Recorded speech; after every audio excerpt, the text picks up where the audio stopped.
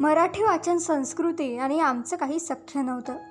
मी ज्या भोवतालात वाढत गेलो त्याच्या मुळाशी वाचन संस्कृती म्हणजे काय? किंवा घरात इतर गोष्टींबरोबर ग्रंथही महत्त्वाचे असतात? याला महत्त्व देणारी आधीच्या पिढीतली माणसं नव्हती. मी शेतकरी कुटुंबातला. त्यामुळं रोजीरोटीचा रोजचा व्यवसाय शोधणे आणि जगणे एवढंच माहीत. बाकी पुस्तकांचं वेळ लावून घेणं आम्हाला परवडणारं नाही असेच उद्गार अधूनमधून ऐकायला मिळत होते. मात्र श्रावणात न चुकता घरी धार्मिक ग्रंथाचं पारायण व्हायचं. मला वाटतं ग्रंथ वाचनाचा पहिला संस्कार तिथेच माझ्यावर झाला.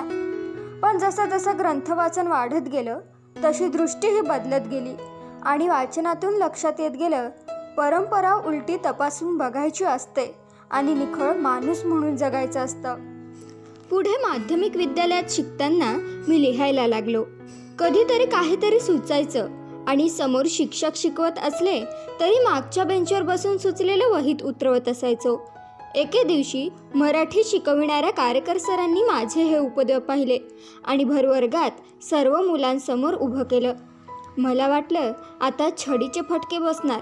पण कारकर सरांनी मी लिहिलेल्या वहीतील कवितेचे शब्द सर्वांसमोर वाचून दाखवले आणि माझं कौतुक केलं.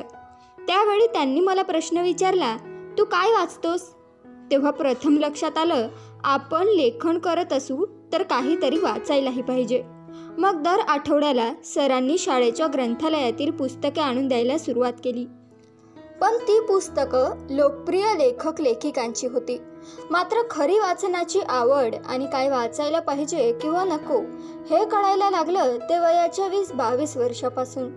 कणकवली शहरातील वसंतराव आचरेकर सांस्कृतिक प्रतिष्ठानच्या प्रायोगिक नाट्य महोत्सवातील नाटकं पाहायला लागल्यापासून फार उत्तम नाटकं सादर व्हायची रात्री त्यावर चर्चा आणि त्या सगळ्यातून मनात अनेक प्रश्न निर्माण व्हायला मदत व्हायची.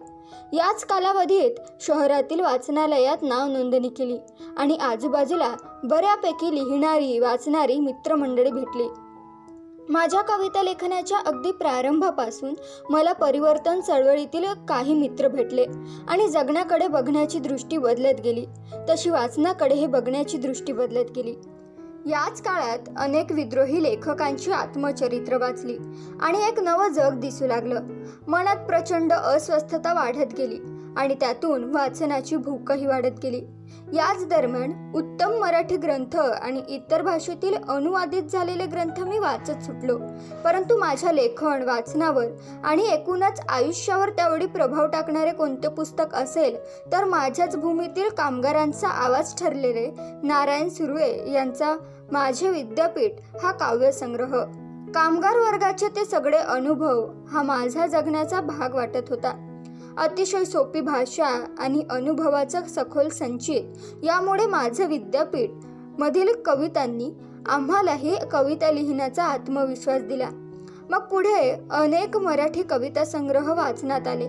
याच दरम्यान कवी रमेश तेंडुलकर मनोहर कदम यांची भेट झाली आणि त्यांच्याबरोबर वारंवार चर्चा करत असताना काय वाचायला हवं काय नको हे लक्षात येत गेलं. आणि त्यातून मराठी कवितेची परंपराही समजत गेली. माझ्या वाचनाला तशी शिस्त नाही.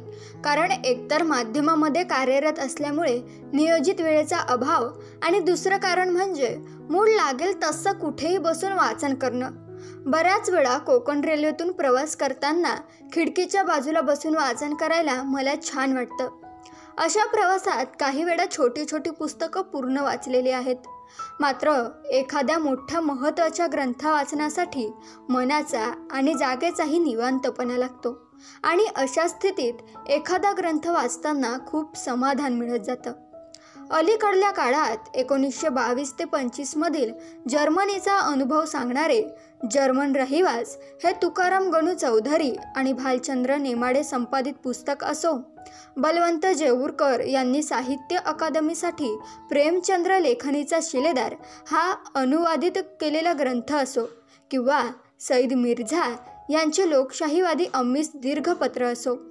हे सगळे ग्रंथ वाचताना हेच समाधान मिळत गेलं. अलीकडल्या काळात ज्या कथा कादंबऱ्या वाचल्या त्यातील आवडलेली कादंबरी कृष्णात खोत यांची रिंगाण आणि किरण गुरव यांचे कथासंग्रह. सुट्टीच्या दिवशी गावाकडे गेल्यावर एखाद्या झाडाखाली बसून पुस्तक वाचण्याचा आनंद काही वेगळाच असतो. ही सवय बालपणापासून माळरानावर वेगवेगळ्या कारणांनी दिवस घालवावा लागत असल्यामुळे लागली असावी. काही वर्षांपूर्वी उशी रेगे यांची सावित्री राजन गवस यांची भंडारभोग अशी काही पुस्तकं मी झाडाखाली बसूनच वाचलेली आहेत.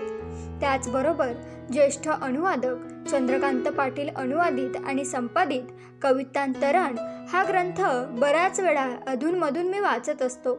भारतीय आणि जगातील उत्तम कविता या ग्रंथात आहे. अशी काही पुस्तकं आपल्या उशाला ठेवायची असतात आणि मूड येईल तशी पुन्हा पुन्हा वाचायची असतात. माझ्या अशा या विस्खळीत वाचनानेही मला समृद्ध केलं. कदाचित वाचनाचं हे थोडंफार वेळ लागलं नसतं तर आजच्या काळात मला मानसोपचार तज्ज्ञाकडे नक्कीच जावं लागलं असतं. एवढं मी खात्रीने सांगू शकतो.